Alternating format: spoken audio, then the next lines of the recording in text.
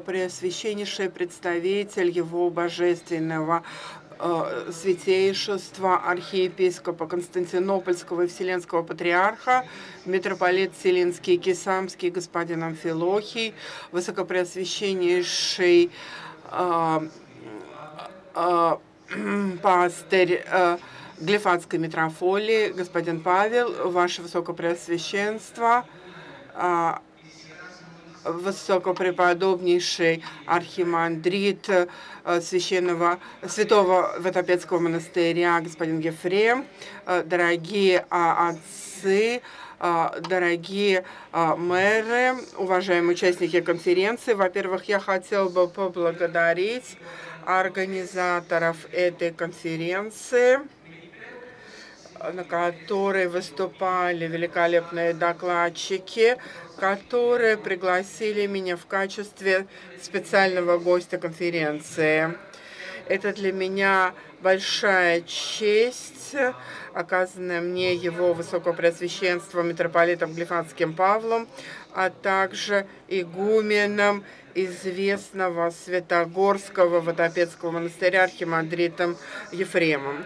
В нашу эпоху э, церковь стоит перед э, большим вызовом, поскольку э, перед ней стоит перспектива огромного технологического и культурного развития, которого никогда не существовало до настоящего момента в истории человечества. А, технологии развиваются так быстро, что практически невозможно следить за всеми технологическими изобретениями. Без а, каких-либо сомнений, это развитие связано с изобретением цифрового письма и его использованием в цифровой технологии. Цифровое письмо может не являться великим новшеством, в истории человечества. Это письмо было известно тысячи лет назад, но передача информации а, путем соединения нулей и цифры 1, конечно же, является новшеством нашей эпохи. Именно использование этого изобретения позволило добиться чрезвычайного технологического развития нашей эпохи. А, в связи с этим возникает целый ряд вопросов, которые, по моему мнению, непосредственно связаны с темой данной конференции. А, развитие цифровой технологии э, действительно способствует развитию духовности или, может быть, это а, развитие полностью противоположно духовному развитию. А, являются ли средства, которые используют цифровую технологию, полезными или пагубными для духовного развития? Вот некоторые из целого ряда дилемм, которые сегодня встают перед богословием и, следовательно, перед церковью э, и ее духовной миссией.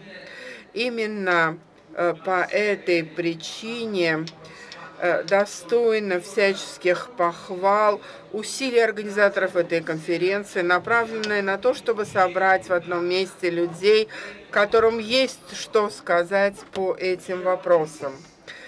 Ответ на эти и аналогичные вопросы э, не следует оставлять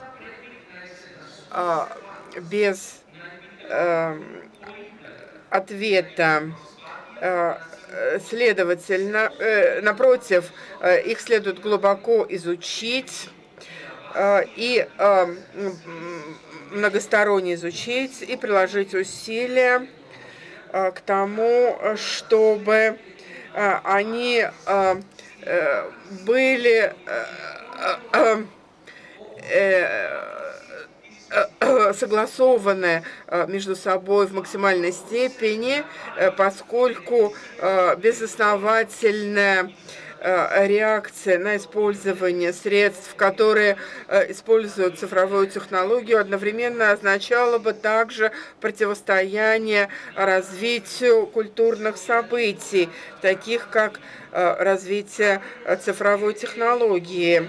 Это могло бы поставить церковь на обочину общественного развития.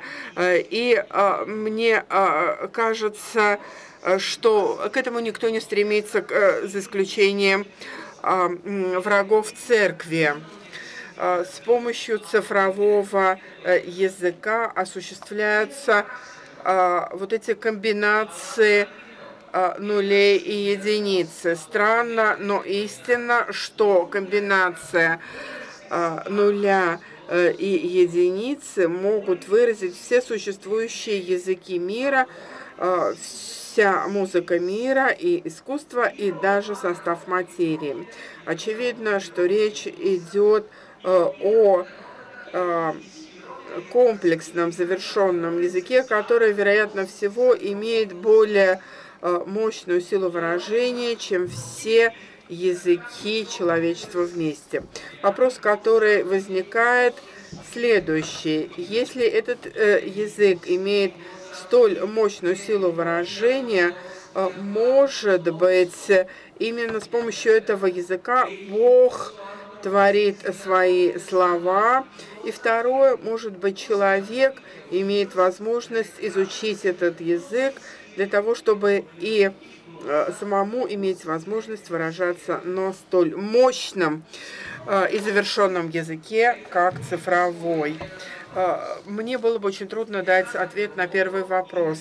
Ясно каждому богослову, что а, Бог не тварен, и что ему нельзя а, э, придать какие-либо черты и характерные особенности тварного.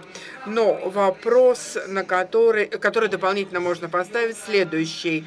Является ли цифра тварной или нетварной? Если мы признаем, что Бог один, но имеет три лица, то очевидно, что число выражает также и количество нетварного. Но это представление тварных о нетварном. Мы тварные а, определяем а, число нетварного Бога. Но использует ли Бог для самого себя тот же способ регулирования, что как делаем мы, э, тварны, но у меня, по крайней мере, нет конкретного ответа на этот вопрос. Э, какой бы ответ я ни дал, он будет всего лишь ответом по аналогии. Но какой бы ответ мы ни приняли, либо утвердительный, либо отрицательный, и один, и другой отвечают тем предпосылкам, которые мы установили в самом начале – они а, относятся к разнице между тварным и нетварным. То есть, если Бог использует тот же способ измерения, который используем мы, тварное создание, то очевидно, что для него а, цифровой язык не является неизвестным. И если он хочет, то он может использовать этот язык тем или иным образом.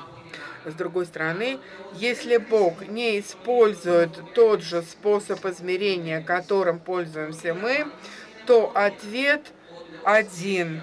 Э, Бог имеет еще более мощный язык выражения, чем цифровой.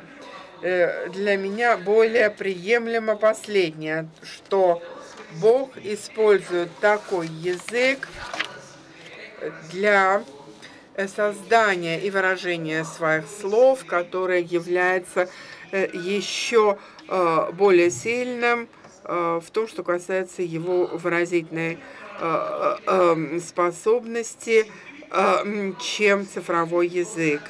Но какой бы вариант мы не приняли, это совпадает с тем фактом, что цифровой язык является более мощным средством, по крайней мере, до настоящего момента, который доступен тварным созданием.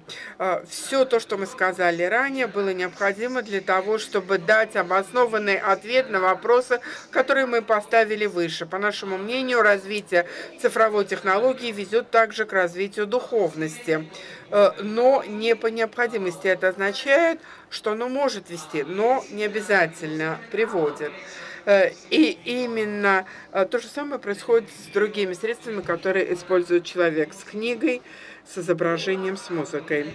Э, Все это может быть очень полезным для развития духовности человека, но, конечно же, не является необходимым.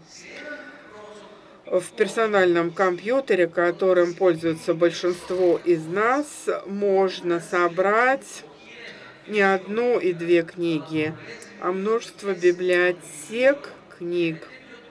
И таким образом, что они будут всегда доступны всем, кто имеет к ним доступ. И это происходит именно благодаря цифровому языку, которым пользуется компьютер. В компьютере, который, в который можно заложить множество э, э, картинок, фотографий, музыкальных произведений, но более того, с помощью Э, компьютера, присоединенного к интернету, мы имеем доступ в любой момент почти ко всему, что было написано, нарисовано или создано э, в качестве музыки до э, нашей эпохи. Очевидно, что то, что мы имеем доступ в любой момент к тем данным, которые мы перечислили выше, мы не становимся в большей степени духовными людьми мы даже не становимся более умными или более мудрыми, а тем более более духовными. Э, для духовности в первую очередь необходим э, катарсис, который не может э, быть осуществлен э, с помощью компьютера или с помощью цифровой технологии.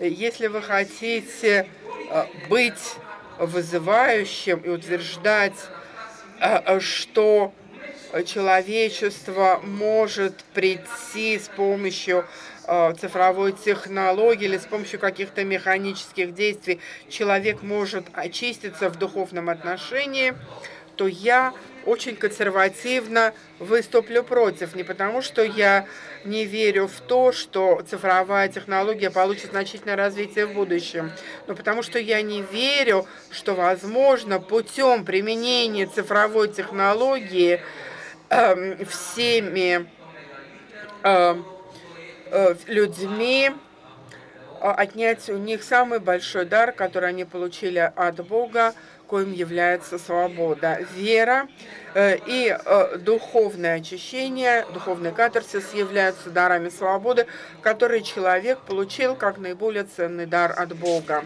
Цифровая технология э, может быть укреплена с помощью веры или духовного очищения, но ни в коем случае не может сделать нас верующими или безбожниками не может очистить нас духовно, без э, личной аскезы, э, или загрязнить нас духовно без нашего собственного согласия.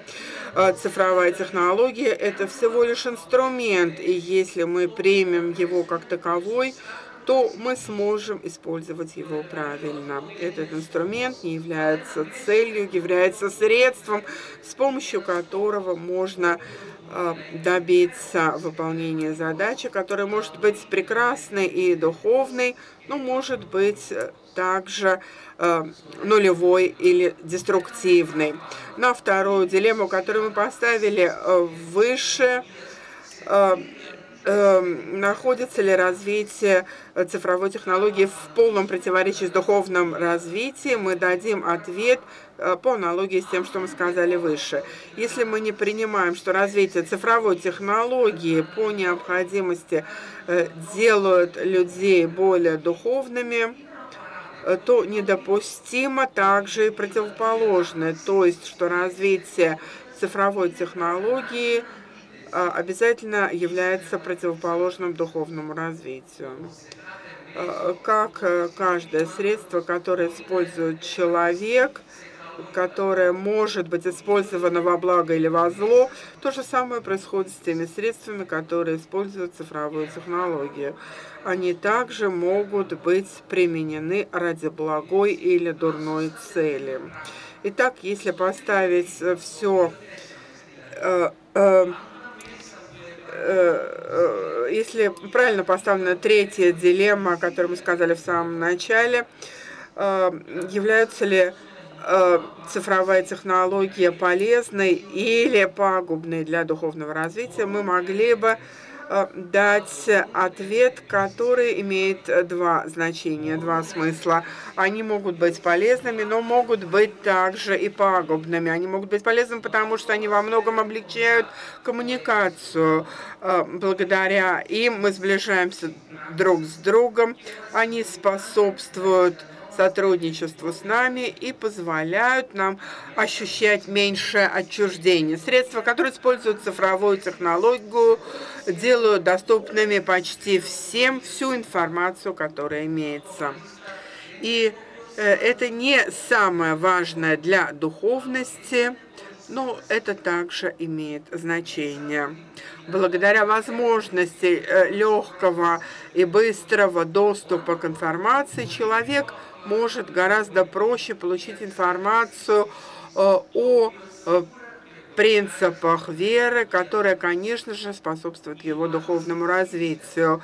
Изучение веры э, с помощью средств цифровой технологии делает ее доступной также в географических регионах, которые в, в которых это было невозможно до начала применения цифровой технологии. Э, легкий доступ к информации, которая предоставляется через э, цифровую технологию, может способствовать развитию эм, духовного, интеллектуального уровня человека. Интеллектуальные знания, конечно же, не делают человека более духовным в обязательном порядке, но это очень полезно для духовного развития. Вера и духовность, в особенности среди христиан, являются логичной. Таким образом, логика может стать очень хорошей основой для духовности неподобающее использование цифровой технологии, конечно, может быть пагубным. И причем Э, пагубно в значительной степени. Цифровая технология э, поставила многих людей в зависимость от нее, что означает, что она их поработила. Э, если вы, если человек поработился без своего согласия, то он не виноват. Но если он добровольно стал зависимым от нее, стал зависимым от цифровой технологии, то он сам виноват. Цифровая технология э, с громадным потенциалом, которым она обладает, может навязать свою власть. Если человек не создает оборонительный э, механизм, чтобы защититься от ее диктата, то его легко поработить. Э, последствия этого рабства громадны не только для духовного здоровья, но и для телесного здоровья. Вторая опасность связана с предоставлением ложной информации и, следовательно, э, с предложениями лжедействительности. Э, человек без информации или недумающий человек может легко быть введен в заблуждение. Э, а, а, однако, независимо от того факта, э, больше ли э, у цифровой технологии полезных или пагубных черт, она имеет неизбежную характерную особенность человеческого развития. То, как развивается ситуация в ближайшем будущем, цифровая технология станет инструментом, без которого жизнь была бы очень э, трудной или невозможной. Следовательно, то, что, я думаю, является очень важным для современного богословия, следовательно, также и для духовности, это продемонстрировать полезные свойства цифровой технологии, предложить их э, и строить их, но, по крайней мере, столь же важно, если не более важно, это продемонстрировать также пагубные последствия цифровой технологии, э, подчеркивать их э, и э, говорить о противоречиях духовного развития. Проявите еще немножко терпения. Позвольте мне рассказать Э, нам э, о наших э, гонениях, хотя гонениях, которых мы подверглись, о тюремном заключении, задача, которая перед страной, в которой я являюсь пастырем, заключались в том, чтобы изолировать нас, не в том, чтобы посадить нас в тюрьму, что выразило бы возмущение во всем мире. Когда они поняли, что они не могут меня изолировать, они решили посадить меня в тюрьму. Э, и я э, возглавляю церковь, которая э, очень рано начала использовать преимущества, предоставляемые цифровой технологии. Что бы произошло, если бы у нас не было возможности а, показывать, демонстрировать истину через интернет? Сейчас очень трудно это представить, но я уверен в том, что власти той страны, которой я являюсь пастором, а, смогли бы в значительной степени добиться своей цели, а именно изолировать меня. А, все СМИ в моей стране были объединены. А, а, они пытались публиковать ложь о нас, и затем не позволяли нам даже поплакать над этой ложью. И они хотели нас Э, изолировать и э, не дать нам возможность ответить на ту неправду, э, которую они говорили о нас. Вот уже 13 лет мы живем в условиях ограниченной свободы, в единственном месте, единственном месте, где мы обладаем небольшой свободой, Э, это литургическое пространство и пространство цифровой технологии. И только последнее, а, как выяснилось, является полностью свободным. А что касается литургического пространства, то оно небольшое и э, очень трудно э, осуществлять литургии. Мы имеем право служить литургии только в частных квартирах э, летом э, и на внешних площадках, на открытых площадках, но они э, пытаются даже этого нас лишить. Я думаю, что вам это известно. В 2004 году один раз пришла меня полиция, пришла полиция и арестовала меня именно в момент литургии. Сопротивление, которое мы им оказали, а, мне кажется, вам о нем известно. Только мертвыми а они нас могут э, убрать литургии. Мы, пока мы ее не закончили, но мы закончили литургию, и, как вы видите, я пока еще жив.